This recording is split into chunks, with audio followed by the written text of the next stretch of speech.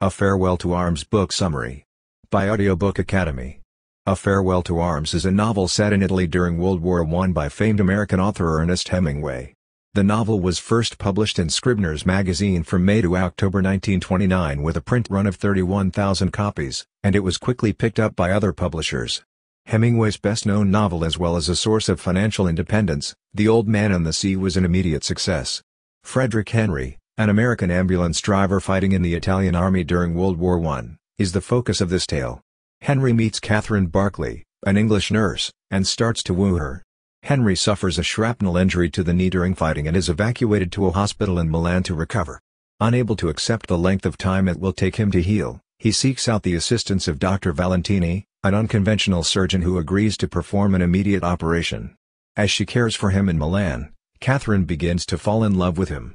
Once Henry has recovered completely, he will be taken back to the Italian front in his ambulance with the rest of the troops. However, he arrives at a time when the Allied troops are on the verge of defeat. To get to Milan on a train, Henry had to flee the fighting by jumping into a river and swimming downstream. Henry and Catherine are reunited and flee to Switzerland together. Henry thinks he's done with his military duties, but a tragic event soon brings the happy couple to their knees.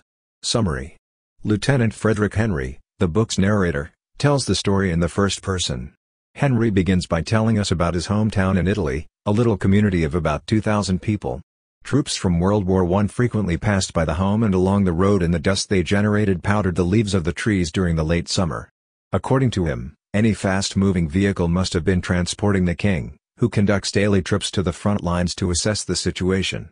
Catherine Barclay, a lovely young woman that Henry's friend Rinaldi, a lieutenant and surgeon, has fallen in love with. In order to fool Catherine into thinking that Henry is a wealthy guy, Henry offers to lend Rinaldi some money. Upon first meeting Catherine, Henry is awestruck by the beauty of her long blonde hair. While Rinaldi is occupied conversing with another nurse, Henry learns that Catherine has recently lost a fiancé on the battlefield. When she inquires about his romantic history, he replies that he has never been in love. Rinaldi makes fun of Catherine's preference for Henry as they drive home. Henry visits Catherine the following day.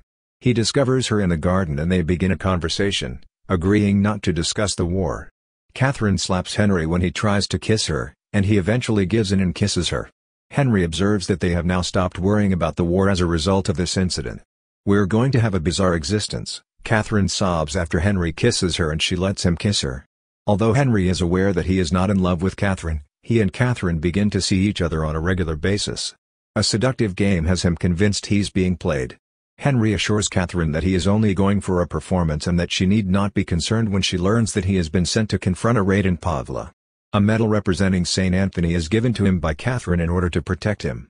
After a blinding flash and heat like a furnace, Henry sees Pavia being bombed, which causes him to panic. He was enjoying dinner in the dining hall when a trench mortar detonated.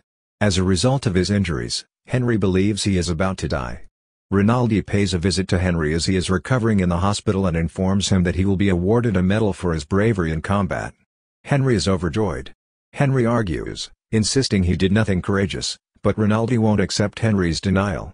Rinaldi also informs Henry that the United States has formally declared war on Germany, and that President Wilson would do the same with regard to Austria shortly after.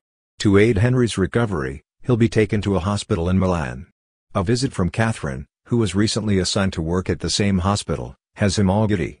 After arriving at the hospital, Henry immediately develops a disliking for the ward's superintendent Miss Van Campen. Henry goes around her and asks for a porter to bring him several bottles of wine and the evening newspaper when she denies him alcohol with his meals. Catherine's first day at Henry's school is the following day. When she enters the room, he discovers that he is infatuated with her and entices her to join him in bed. For the first time, the two engage in passionate physical contact. Later, Henry learns from his doctors that removing the shrapnel from his knee will require him to wait six months. Dr. Valentini, a brusque and cheery physician, provides Henry with a second opinion because he is concerned that the procedure will take so long. In the morning, Henry's operation will be carried out by the doctor who had a drink with him. Immediately following the operation, Henry falls ill and is unable to speak with Catherine verbally. He asks the other nurse, Helen, groggily if she'll be at his and Catherine's wedding, and she responds sarcastically that she doesn't believe there will be a wedding. Henry begins to learn how to use crutches during the summer. All night long, he and Catherine talk marriage. Despite Catherine's reluctance to get married, She tells the story of how her family would be devastated if she did. However, she promises to remain loyal to Henry. Henry's leg will be nearly healed by September. He is given three weeks of recuperation leave, following which he must return to the front lines of battle. He learns from a British major who is also in the hospital that the Allied forces had been badly beaten up. Despite the Allies' certain defeat, the major tells Henry that if no one notices, everything would be alright. When Catherine reveals to Henry that she is pregnant, she is concerned that he will perceive her as a conniving woman. His words of comfort to her are simple, I love you, and I can't wait to have a baby with you. They must be courageous and the coward dies a thousand deaths, the brave simply one, he says. Henry becomes ill the following morning and is eventually diagnosed with jaundice. Miss Van Campen accuses him of deliberately making himself ill in order to avoid being sent back to the front lines because of his drunkenness. Denying him convalescent leave is the result of a report she filed. After learning that Henry is returning to the war earlier than previously expected, Catherine's reaction was understandable. Before they go, they go out to eat and eventually discover a wonderful hotel where they can stay the night. Catherine reveals that she feels like a prostitute despite the luxurious hotel and the fancy nightgown she buys for the rendezvous. Asked how she plans on taking care of the newborn, she assures Henry that she has everything under control and that her house would be ready for him when he returns. Henry is sent back to Gorizia, the town where he was injured. Because of his injuries, he soon discovers that the summer was a very dangerous time for the conflict. Rinaldi asks Henry about Catherine and whether or not they've been married when Henry and Rinaldi are reunited. Henry is offended when he inquires about Catherine's sex life, which he regards as rude. Rinaldi, apologizing, suggests that they toast Catherine and go out to dinner as a show of respect. Henry heads to Bainsizza, a particularly hard-hit area of the country, the next day. Gino, an Austrian he meets along the way, tells him a scary story about the Austrians' firearms. Henry is informed by Gino that if the Austrian army decides to strike, they will have nowhere to retreat to. The following night, there is yet another round of shelling. Henry's troops realize in the morning that the Germans were responsible for the attack, and they are frightened by what this means for them. This is the first time the Germans have conducted airstrikes in the area. Eventually, they'll be instructed to go back. As they go, Henry learns that Rinaldi and the rest of the Bainsizza hospital staff have already departed for the hospital. Henry, Bonello, Piani, and Aymo, three other drivers, take a break and eat before entering the retreat. A large line of fleeing automobiles joins the men as they make their way slowly out of town. It comes to a standstill at some time. Henry gets out of his car to see how his friends are doing. He discovers Bonello and Aymo in his car, as well as two engineering officers and two young women. Henry returns to Piani's automobile after assuring the young women that Aymo will bring them out of the city and to safety. Every night, he has visions of Catherine, as if he is talking to her in his sleep. In the early hours of the following morning, Henry and his men, tired of being cooped up in the retreating column of automobiles all night, decide to take a tiny route heading north, in the hope that it will expedite their exit from town. Because Aymo's automobile got stuck in the mud, they had to chop bush off the roadside and place it under Aymo's tires in an attempt to get the vehicle moving again. Henry instructs the two engineering students to help, but they refuse out of fear of being overtaken by the enemy. Henry pulls a revolver on them and kills one of them as they flee. In spite of their fear, they both make it out unscathed. To no effect, the men then attempt to extricate the stuck car with the help of twigs, limbs, and even clothing. The vehicle is still immobilized. They are now able to fit everyone into the remaining two automobiles and resume their journey. However, they quickly find themselves in the same situation again. The two young women are given some money by Henry and sent to a neighboring village. In the end, he and his comrades decide to walk the remainder of the way.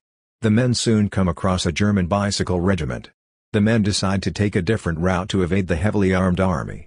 They are being fired upon as they begin to down an embankment. Shots are fired at Aymo, killing him instantly. Henry and his soldiers quickly learn that the Italian rearguard accidentally shot and killed Aymo because they were frightened by the presence of German troops in the vicinity. Henry and his men have come to the realization that facing the enemy is less dangerous than facing their own people. They've made the decision to hide out in an abandoned farmhouse until it's safe to come out. As Piani and Bonello head out in quest of food, Henry stays put in the hayloft. When Piani returns, he tells the story of Bonello's departure from the farm, hoping to be captured and imprisoned so that he could avoid certain death. Both Piani and Henry stay in the barn during the day before heading out to meet up with the rest of their gang by night. A group of soldiers is being divided up and interrogated over alleged treason that contributed to the defeat of the Italians, and they eventually find themselves in this situation. The men should not be able to question officials in this manner, Henry argues. Two soldiers grab him and restrain him, believing him to be belligerent. Seeing a lieutenant colonel being carried away and executed for deserting his troops, he cries out in pain. To escape capture, Henry dives into a nearby river as his other soldiers are focused on the tragedy they've just witnessed. After hearing shots being fired over his head, he begins to swim downriver. Henry lets himself be swept along with the current for what feels like an eternity. He eventually makes his way out, takes off his star-studded clothing, and boards a military train that evening. Gun-laden carriages on the train make Henry's hiding spot difficult to find, so Henry shelters under canvas tarps. Henry contemplates his upcoming reunion with Catherine and how, without men or an army to return to, he considers the war and his time as a soldier served to be virtually finished. Henry and Catherine board the train together. Not my show anymore, he muses, as the realization dawns on him. In Milan, Henry arrives at Catherine's hospital only to discover that she has been transferred to Stresa. He travels to see Ralph Simmons, an old buddy, to get information on how to go to Switzerland. Simmons is willing to assist in any way he can, even if it means providing Henry with some civilian clothing. Henry soon arrives in Stresa, where he finds Catherine and Helen Ferguson in her hotel.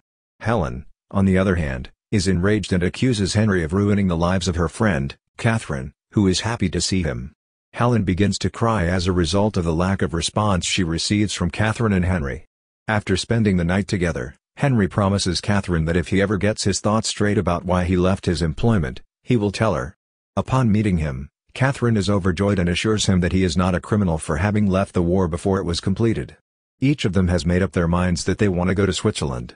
Following their lunch with Helen, they receive forgiveness and a very joyful response. She was merely jealous of their affection for each other, Henry concludes. Henry learns that the military police have tracked him down and plan to arrest him in the morning. He learns this the night before. That night, he and Catherine make plans to row to Switzerland. Henry rowed through the night until his hands were sore, but the couple arrived in Switzerland in the morning. There, they are brought to Locarno, where they are given provisional visas so that they can stay in Switzerland. After a long day of traveling, the exhausted couple takes a rest at a motel. Over the course of a few months, Henry and Catherine relocate into a property near Montreux, where the book's end takes place. They have a great relationship, and Catherine is becoming bigger and bigger with each passing day.